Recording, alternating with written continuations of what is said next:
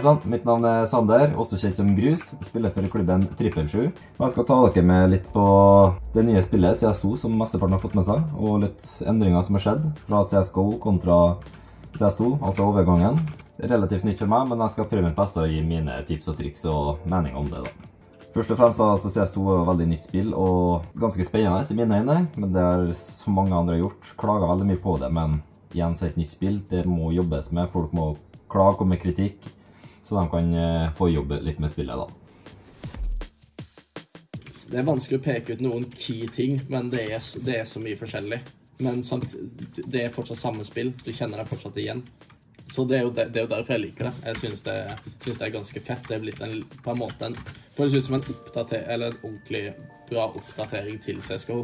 Nøkkelforskjellene mellom CSGO og CS2 det er jo fortsatt samme spillet, men man har jo noe da, som mange har fått med seg. Smokes er blitt veldig annerledes. Det er blitt større, for det første, så varer de meg litt lenger om, om jeg husker rett. Så kan jeg gjøre sånn her med dem. Det er noe som kommer til å påvirke spillet ganske mye, tenker jeg.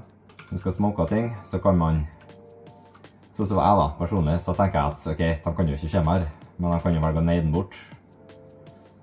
Og da kan du sitte der og ikke tenke at du blir skutt. Så det er en veldig viktig ting å ha i bakhodet. Så kan man òg skyte bort hjørnet på smokes, da. Så du ser jo ganske tydelig gjennom smoken hvis du står nærmere. Det er noe som er ganske uvant, som det tar tid å venne seg til. Spray og våpenfunksjonene. Jeg syns mange våpen er ganske like. Noe jeg syns er litt bedre, da, positivt, er Galillen.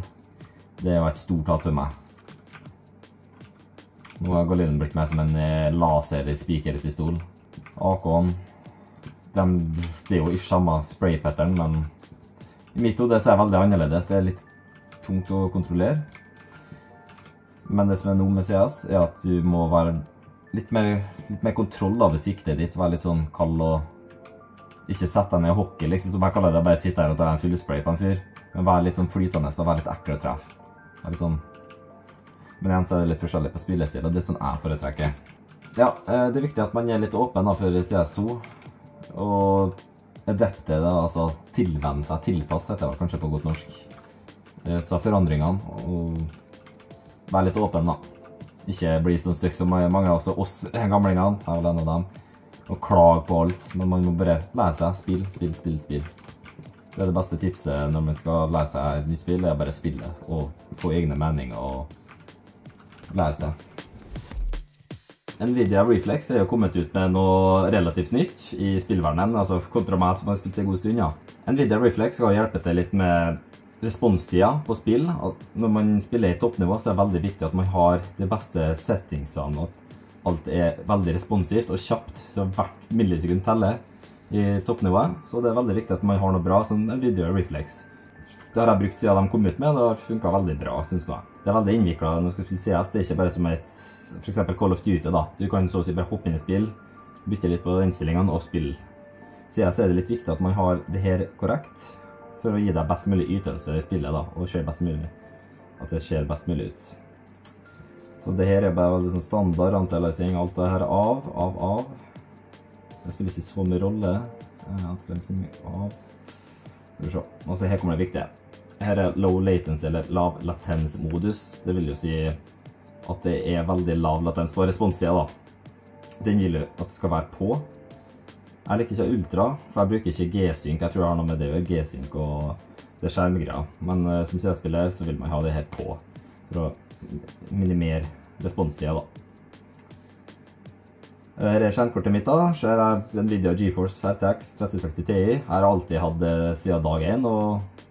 Nvidia har jo vært, om ikke er, noe av det beste produktet i verden si, innen data. Jeg er storfornøyd med det, og jeg har brukt det siden jeg begynte med å. Når det kommer til mussensitivitet og settings in game, eh, det er veldig personlig. altså mener jeg hva du føler passer for deg. da, Det er veldig viktig. Det jeg liker å gjøre, er å starte med noe som heter for aimbots. Der man kan springe rundt, bare skyte på litt folk og føle seg litt fram. Så det jeg har gjort, er å funnet noen favorittspillere, kopiert dem sine, sine settings. Der ligger vi nå på 1,8 sens og 400 DP. Uh, Og så har jeg prøvd meg litt fram. Oi, det her likte jeg, liksom. Eller det her likte jeg ikke. Så må man prøve noe andre. Hvis man har funnet seg en veldig god spiller, da Nå tar jeg Exon- Exantares tyrkiske spilleren som et eksempel. Veldig god aim. Ikke så mye annet, men han er en av de beste aimerne i verden. Men han har sin egen måte å spille på. Veldig mange kopierer han.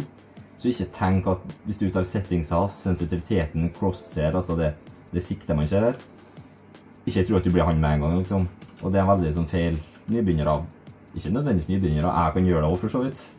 Ta settingsa til andre og tro at man blir like god som dem. Det, du må finne det som passer deg, preferansen din, og spille med det så mye at du blir veldig vant til at du føler at det er ditt, liksom.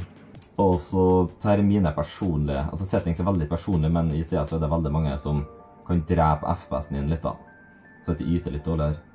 Her er mine, mine personlige som jeg syns er best. Og PC-en min klarer å yte. Det er Global Shadow, altså skyggekvaliteten. Den her liker jeg på for du kan få se clues fra motstanderne. Du ser skyggene fra dem, og det kan gi en liten advantage i spillet. Resten her har ikke så veldig mye å si. har sett. Jeg har eksperimentert litt med modell på low og high. Det eneste jeg gjør, er at jeg kan spise litt mer FPS-en, men syns det gjorde ingenting forskjell.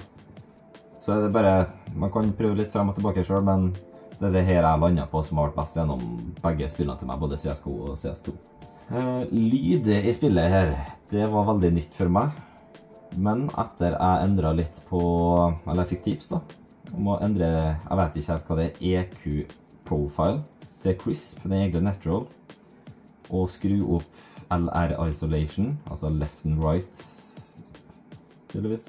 Opp til 65. Jeg vet ikke om det er 0 til vanlig, men boost dem til 65-70% så hører man ganske klart og tydelig, eller klarere, hvor stepsene kommer fra. Om det kommer fra høyre eller om det kommer fra venstre. Det sleit jeg veldig med tidligere. da.